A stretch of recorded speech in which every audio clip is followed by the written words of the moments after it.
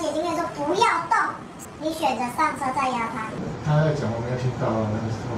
台中一名失信公车司机日前路口撞死女大生，到对方灵堂下跪道歉，家属依旧不接受。开始撞到他，他就眼镜车死掉，那就算了，我们命不好。可是不是？昨天那个学姐直接心清楚跟我说，他是活着的，他只有手被你压到，是因为你又上车又动了车子。你他才是被你硬生生再用轮胎压过去的。妈妈当场就指控司机，明明就有机会可以救女大生，却继续往前开，才会导致女儿死亡，怒喊要提告杀人。希望把事实弄得更完善，是希望，就是希望社会把我们家小孩知道，也希望大家都可以给每个孩子快乐生长的环境。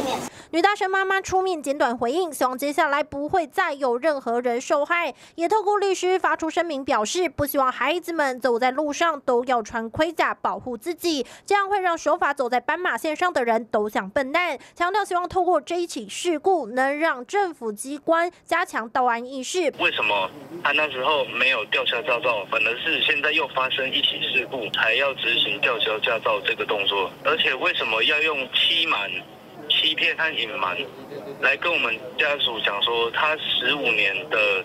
开车经验是良好驾驶，而司机更被爆出十三年前也是担任公车司机时早就撞死过人了。另一名家属也针对此事痛批，觉得被欺骗，因为公车业者曾经回应司机表现良好，没有违规记录。他质疑为什么司机没被吊销驾照还能够继续开车，但再多的疑问也换不回女大生的性命。家属坚持提告，要讨回公道。TVB 新闻黄国军、廖凡一 SNG 小组台中采访报道。